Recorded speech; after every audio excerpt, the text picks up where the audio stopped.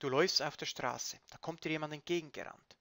Schnell, schnell, 2943. Ist diese Zahl durch 9 teilbar? Ich muss es dringend wissen. Es geht um Leben und Tod.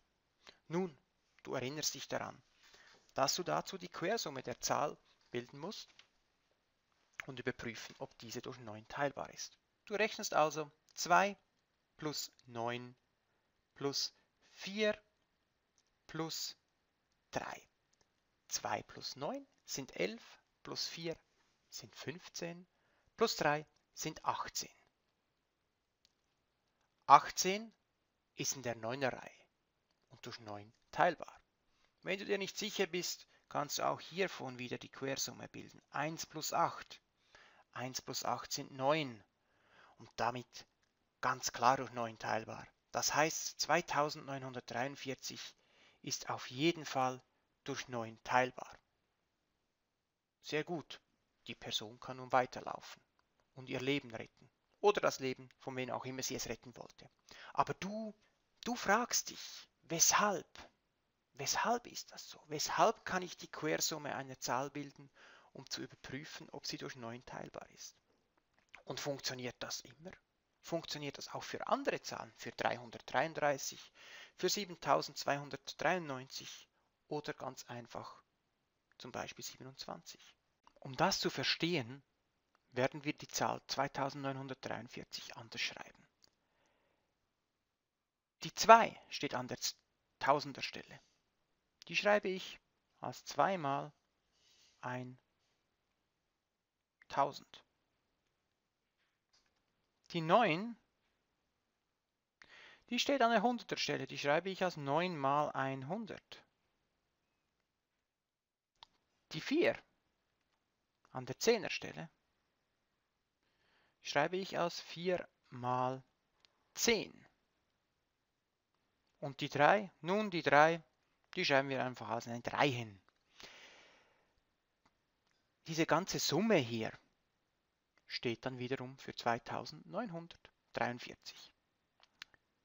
Jetzt schreibe ich diese 1000 als Summe aus 1 und einer Zahl, welche durch 9 teilbar ist, nämlich 999. Diese 100, die schreibe ich als 1 plus 99. Die 10 schreibe ich als 1 plus 9. Aus 2 mal 1000 wird in dem Fall 2 mal 1 plus 999 aus 9 mal 100 wird 9 mal 1 plus 99. Aus 4 mal 10 wird 4 mal 1 plus 9. Und die 3? Nun, die 3, die bleibt eine 3. Nun kann ich ausmultiplizieren. 2 mal 1, 2 mal 999. 2 mal plus 2 mal 999. Das gleiche dann 9 plus 9 mal 99 und 4 mal 4 plus 4 mal die 9 und die, die 3, die bleibt immer eine 3. Das Ganze werde ich jetzt einfach mal etwas anders anordnen. Und zwar schreibe ich zuerst die Produkte mit 999, 99 und 9. 2 mal 999 plus 9 mal 99 plus 4 mal die 9.